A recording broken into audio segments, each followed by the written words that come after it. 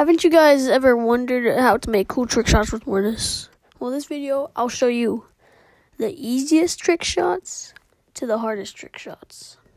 Let's get into it. Okay, the first trick shot is just the basic bounce off the wall. It's just one bounce off some wall and then it goes in. You can do it some other way too, but as you can see, you just hit it so then it bounces off the wall once and goes in. That's the easiest trick shot with uh, uh, that you can kind of consider trick shot. Trick shot is just a basic dribble and then shot. So you have to learn how to dribble, but it's not too hard. You just have to swipe pretty much at the exact same time or like right after you shoot the ball. It takes a little bit of practice, but it's not too hard. But you just dribble it and then you kick it into a shot or a corner where like other people are. Next shot is just uh a super dash, which is like pretty much a dash with longer with your super, and then a kick in like that.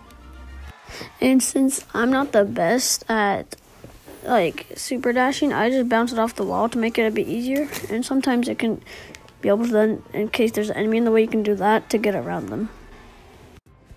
The next shot is pretty much just like kicking the ball off a bunch of walls, and like bounces off a bunch and then goes in it's kind of hard because usually either you have to have like no enemies there or you kind of have to time it perfectly You kind of just guessing when the enemy's not going to be there in that place and kind of like hope that they're not going to be standing right in front of the the spot where the ball goes or just kind of like wait until they're not there.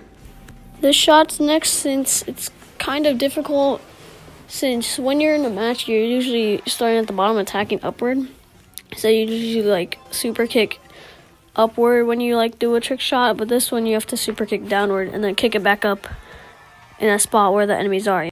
Next on the list we have this one where you just do some sort of dribble and then kick it off the wall quickly, going onto the other side of the goal.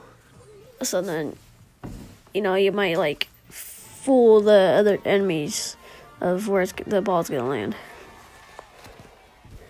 The last trick shot, or kind of like a really difficult one, is where you dribble and then bounce it off like at least like hit it has a it has to hit two walls. It this one actually took me a couple tries, but once you practice more, then it's a bit easier.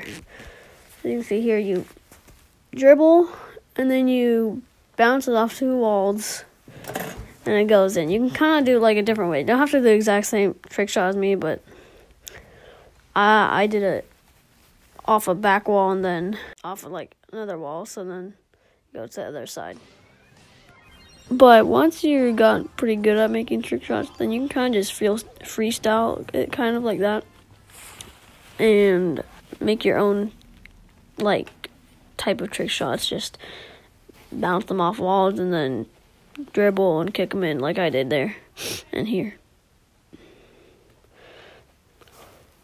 Yeah, that's pretty much all for making trick shots, I guess you could say. Um, if you enjoyed the video, it would be cool if you could like and subscribe. And I will try and stream again today. Haven't you always seen all these cool trick shots in different videos? Well, uh,